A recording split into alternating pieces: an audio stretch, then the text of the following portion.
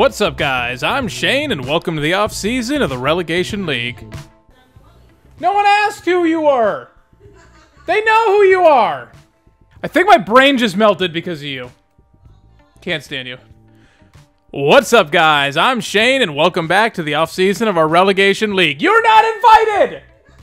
You, you're not allowed. You're uninvited. An unintended slight. End of bowl week here. Let's see who won the Natty. Utah did it. Wow, that's how you can tell it's a video game. Now, we didn't win any awards. I think Williams might have been finalist for best returner. And let's take a look at the All-Americans. We had a couple, uh, but but not here. We, we had them only in the MAC. Williams made second team All-Conference. So did Fan, and Agbana, and Kelly Powell. And uh, Williams is returner. See how the other bowl games go. Anything cool here? Uh, UCF over Texas. That's pretty neat. Kansas went down to Oregon. That's unfortunate. Georgia Southern got smashed.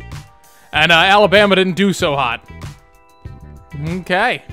Now, as we always do, let's flip through and see who's getting promoted, who's getting relegated. So, promotion-wise, Pitt, they're getting the protection. First year in the ACC, technically. And then down at the bottom was Army, but I do believe they were protected. So Navy is actually the one getting sent down to the American? Yeah, the American. Over in the coastal, Clemson's getting protected. East Carolina, they were not, so they're gone. And in the American, North Carolina, NC State, they're both coming back up. Big 12, it's Texas A&M getting the protection. And then, oh, poor Baylor. Poor Baylor down here. 0 and 9 in conference, 1 and 11 overall. Wow. Like, Rice finished better than them. And Texas State. Like, how... How... They weren't even the worst team. Like, they're better than Nebraska. The only team they beat was the FCS. That's it. That's their only victory. They even lost to ULM, who went 1 and 11. Over in the Red River, Oklahoma, they finished number two in the country. Maybe they should have been in the Natty, but they're going to get the protection.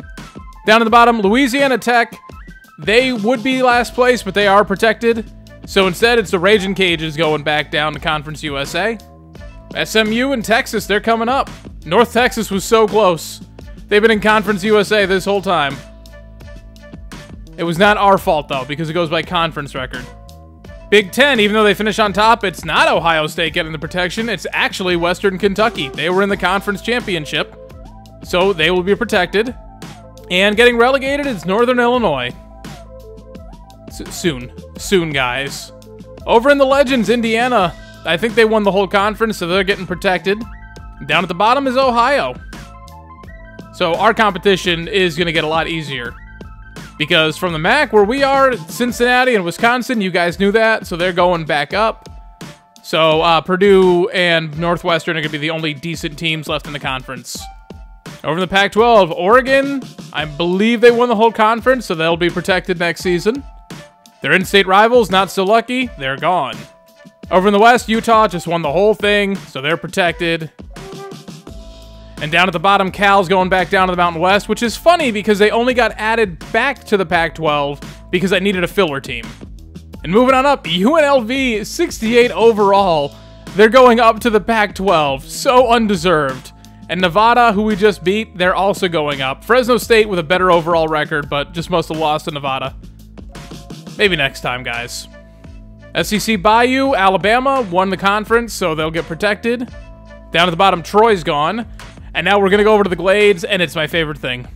Because getting the protection, it's actually Miami. It was uh, basically deadlock, it looked like, but they technically won this division, so they'll get protected.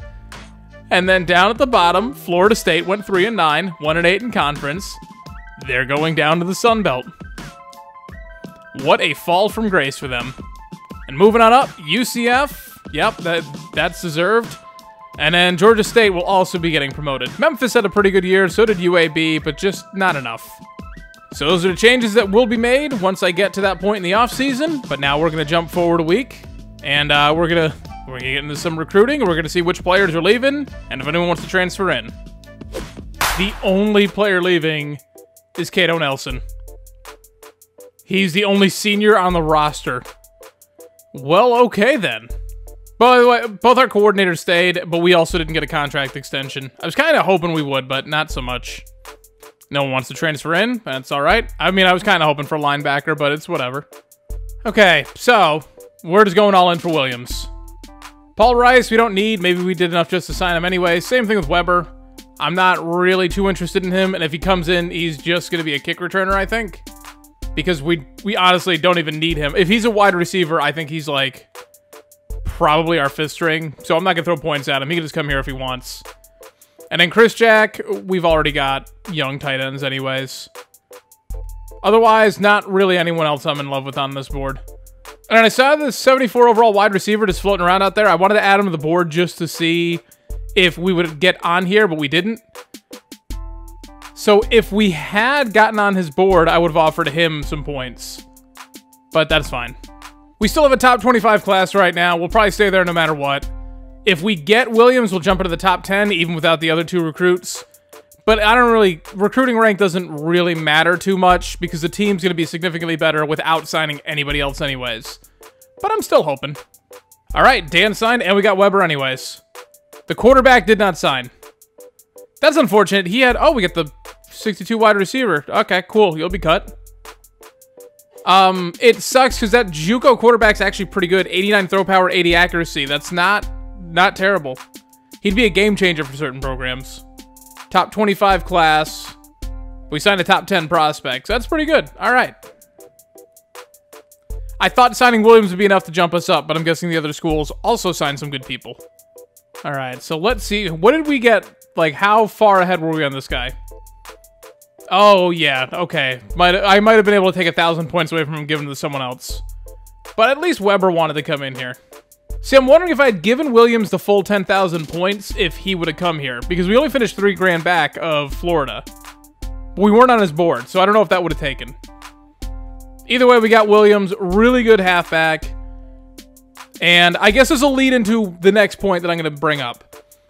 So this series has been running for almost as long as the channel has been going. We have never once gotten to the five-year mark. With UMass, we won a national championship in year four. Kansas and New Mexico State were both year three. And now here we are with Akron. We were one game away from getting promoted after year one with a 70 overall school. Still made a bowl game. Have this really awesome class. I think it's about time that we take these sliders up. Now, for anyone who doesn't know, we don't use the J-Kit sliders on this Dynasty because it's supposed to be a quick rebuild. I have been using the Operation Sports forums. They have what I like to call the Sim sliders. Basically, it makes it fair. It's what I used in the very first episode of Blackrock. And when I switched to J-Kit sliders, we went from beating Boise State, who was ranked in the top 25, to getting absolutely drubbed by everyone else we played. So I think it's time the Relegation League moves up to the J-Kit sliders. That'll be starting next episode for season two. So because of that, we might actually go the full five years in this now. And if that's the case, Williams will be here because Williams Jr. will not be because he's a sophomore already redshirted. So at the very least, we'll have Williams for that last season. Or the 76 overall running back, either one. Plus, having Williams as a backup, that's incredible. And Weber, like I said, I just don't think I need him because we have other people that came in. Ray Jackson, we definitely don't need. But again, the six foot seven wide receiver, you can't pass it up. Yeah, number 15 class. That's not terrible. And we're up to a two star prestige now. Oh, I just realized we never looked at the season stats. There was nothing good. It was just mediocrity everywhere. All right, so this is what I mean. So we got Gerard Williams here, 81 overall. And he's going to be wide receiver. He'd be a good halfback for us, but he'll go wide receiver. He's only a sophomore. Todd Wynn is a freshman, also a wide receiver. So now Weber. Oh, I should check and see if any of these guys can play tight end. Actually, Weber was a 62. It's not bad. And Shelton actually goes up a point. He'll be a 76 overall quarterback. He will be our starter. Halfbacks are stacked, though, between Williams, Long, and then you got Williams Jr. Yeah, Williams Jr. definitely. He'll be the Sean Gaddy Award winner. And even if he's not, that's, you know, he'll only not get it if he already gets a plus seven. So he will be the starter still. Williams will be a good backup. And Long, I'll make you catch a red shirt. I want to win within this five years, but I also want to set this team up for the future where I can. as you can tell by this ridiculously stacked wide receiver group. Because I kind of forgot about all the people I had redshirted. So we got Grimes down here, the 73 overall freshman coming off a red shirt. And uh, he's, uh, yeah. That's what I'm saying. Scipio might not make the team. All right, so offensive line. Xavier Gray was already here, so he'll get training results. So he'll be in the 80s overall at left tackle. We'll have Haas, the true freshman, playing the left guard. Copeland is the tackle I moved over to the center. He'll be a 78 overall. Look at look at that improvement. Right there. There it is. For the right guard, we didn't bring in anyone new, so we got Daniels and Beckman, our two starting guards from last season. Whoever gets the better training results, like, that'll just be who the starter is. And right tackle, we got Ramsauer. Like, look at the difference. He is so much faster than these other offensive linemen. All of these offensive linemen are slow as crap, actually. Except for Gray. Maybe I'll just stick with the 4-3. Maybe I won't go to the 5-2. Because Wilson will get some pretty decent training results. But I don't really have to... Because I got Fan. Bradford will be the starter here. And these two freshmen, and then maybe Wilson, if he gets some good training results, maybe he'll jump one of them. You know what? So what I'll do is I'll have Joseph here. Basically, the better of these two will be the second D tackle. That'll have Morrow starring on this side. Or no, Bradford on this side. Fan will start on this side because get the training results, and Morrow will be my swing defensive end. Because Richardson's coming back, which means Boateng, who was our starter last year, will not be involved. So Richardson will be at the left. We'll still have Arslanian here at middle. And right outside linebacker will be Scott. And actually, I might even look at... Can this guy... He's terrible as an outside linebacker. Never mind. Secondary's in rough shape. I basically have to focus on linebackers and defensive backs. Because that's what we're going to need. But at least we'll have Harris here at strong safety. And I will slide Kelly Powell over, so he'll be our free safety now. Now I just need some good training results, please. So Gibson got a plus four, 83 overall. He got some bumps during the season. DJ Iron, so technically Shelton would be our third stringer, but he's so much faster than these guys. He's, he's going to be the starter. Halfback, Williams only a plus four, so he'll get another three for the Deshaun Gaddy Award. And again, if you missed it during Casper College, now from now on, whoever wins the Deshaun Gaddy Award will be converted to number 17. They're to get the number change. This way, you'll see it during the season, so you can remember who actually won it. I don't know if anyone has 17 right now, but they're about to lose it. I don't have a fullback on the roster. That's not a good sign. So Williams got a plus four. Qualls a plus five.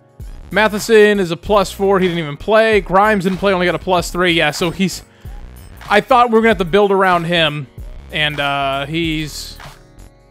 Yeah. Yeah, so we got the... The Juco, the sophomore 81 overall wide receiver, who was already at least our slot. Hey, but Scipio at least got the plus four. Ognetovich with a plus six. I thought he was just like to keep the seat warm until Brent came in here, but now Brent can just be our second tight end for a little bit. He's only a freshman still. Okay, I mean, he deserved that. He was great for us. Gray only gets a plus three. That's that's upsetting. Allen got a plus seven on a red shirt. That's how bad the Senators were last year. Well, at least we'll have a good backup. Daniels a plus five. Beckman got a plus three. He was awful. He was awful. He started off better than Daniels, and now he's going to be the backup. Murphy only got a plus three. Yeah, these offensive linemen were bad. Fan got a plus four. All right, Lawson plus four. Good, good results. Morton got a plus five. Plus six for Wilson. Plus five for Cy. Now I'm glad I put that defensive end back. Because this guy's going to be better, and we'll have a few years with him. All right, we got a loaded D-line now. Richardson a plus six on his red shirt. Boateng played and only got a plus four. So yeah, power of the red shirt right there. landing a plus four, 89 overall. If he gets one more awareness boost, I think that's it for him. Okay, linebacker. Middle linebacker is looking pretty good, actually. Scott only gets a plus three. Delaro got a plus five. Yeah, if we don't get any good linebackers this year, we're going to have to go to a 5-2 next year. Yeah, Watts that plus 5 up to an 88. Cochran got a plus 5 on a red shirt up to an 83. So Agbana a plus 5. Hooks a plus 5. Amonkwa only got a plus 4. He had a real good year for us. But now he's going to be our fifth cornerback, so I guess it makes sense. Kelly Powell a plus 6. Switch position, still got really good training results. And then, yeah, you know, safety depth behind him. There's no one really young. Like, this guy's a redshirted sophomore. I'd prefer to have a freshman, but at least there's something there. Just as, you know, in case of emergency. Thomas got a plus six to a 77, and he'll still be behind the Juco. Kicker a plus four, punter a plus four. Cool. All right, the fact that we only had one senior means that we're probably going to have to cut a few people here. We got to cut 18 players. All right, well, we can get rid of irons. I'm trying to clear up room on a depth chart. And this 62 overall quarterback can get cut too. Bryant went from our backup last year to cut. Goodbye. All right, Jackson, you just cool. I I don't know what am I. I don't need a six foot seven wide receiver apparently. I'm just gonna cut all of these guys down here. Actually, I guess Gathings, he can probably stay. Sorry, Blunt, you had a couple plays. Name, you dropped too many passes. I gotta let you go. Gary, you're another starter from last year, but there's just not room on the roster for you. All right, cuts are made. Let me go mess around with the conferences, take care of a couple other things, and I'll meet up with you in a second. All right, so we're here in the preseason. I've already taken care of a lot of this stuff. So let's go through it real quick. Anthony Williams got his number 17. He got his Deshaun Gaddy Award to the plus seven, so his training results were bumped up by three points 89 speed, 95 agility, 97 accel. So now he's as fast as Williams, but with way better acceleration and agility. Now, Williams is actually, I'm going to try something a little different than I usually do. He's going to be my kick returner. He might not be the best option, but I want to get him involved somehow. And I've never really tried a power back back there. I always try and go over just for the speedsters. So we're going to try it and see if it works. And again, quarterback Kyle Shelton will be our starter. He is not draft eligible. I might bump him up after we're done. I don't want him drafted for us, but for the computer, I might bump him up, make him six foot one like 210. That'll be enough to get him drafted. We did redshirt long. If he transfers, he transfers. But we, we're not probably going to use him too much. And in wide receivers, I just had to redshirt some people. So if you go one, two, three, four, five, six, Grimes wouldn't even be seeing the field. So I redshirted Weber because, again, he was a sort of a bonus, and then wins the true freshman, so he'll catch a red shirt.